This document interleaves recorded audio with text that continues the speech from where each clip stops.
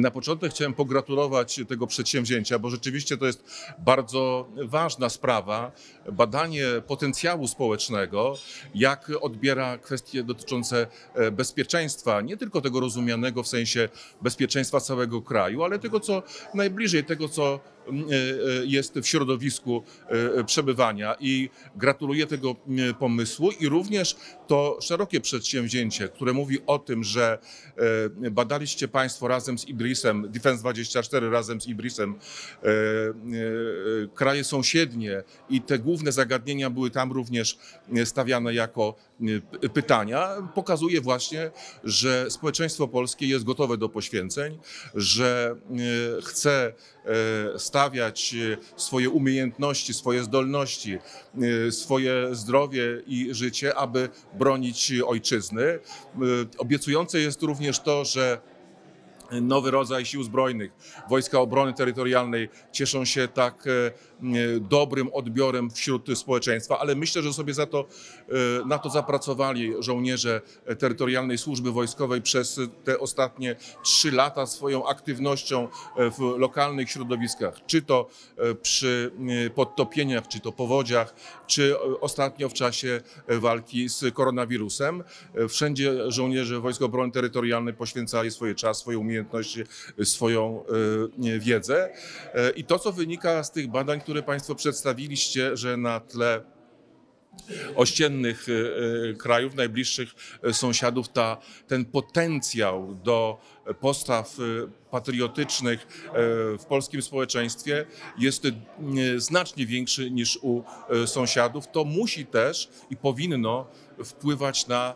kreowanie różnego rodzaju aktywności politycznej, czy to w przeformatowaniu edukacji e, w sprawie bezpieczeństwa, e, czy to również e, jeszcze ściślejsze, chociaż jest ono na coraz większym poziomie, powiązanie e, polskich e, sił zbrojnych e, z polskim przemysłem e, obronnym, bo choć e,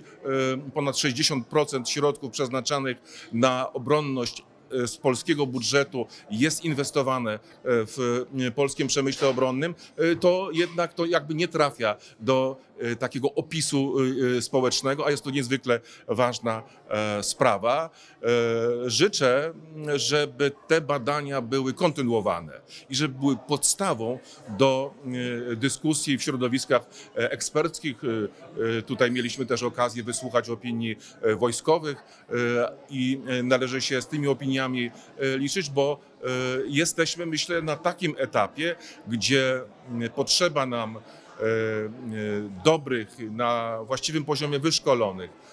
e, sił zbrojnych, ale jednocześnie e, dobrze e, ukształtowanego społeczeństwa. I stąd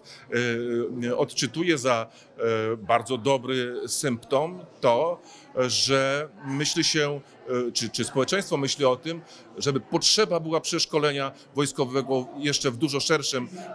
e, zakresie niż to mamy obecnie. I nie tylko chodzi tutaj o Wojska Obrony Terytorialnej, ale o to, aby e, te możliwości e, poszerzać i bardziej je e, aktualizować w społeczeństwie. Ta otwartość, ten e, potencjał e, związany z e, e, patriotycznymi, proobronnymi e, postawami jest niezwykle istotny właśnie w tym e, elemencie, a jak pokazują wszystkie badania w Europie Środkowo-Wschodniej, ta dostępność do broni jest e, w Polsce bardzo e, ograniczona, również poprzez e, e, przepisy E, w e, krajach e, e, Unii Europejskiej. Taka dyskusja e, jest e, w tej chwili e, podejmowana i e, również nas czeka w najbliższym czasie wypowiedź w tej e, kwestii, a przy tej okazji, no cóż, e, potencjał e, właśnie polskiego przemysłu obronnego w tym zakresie jest do wykorzystania, e, chociażby fabryka broni e, w Radomiu.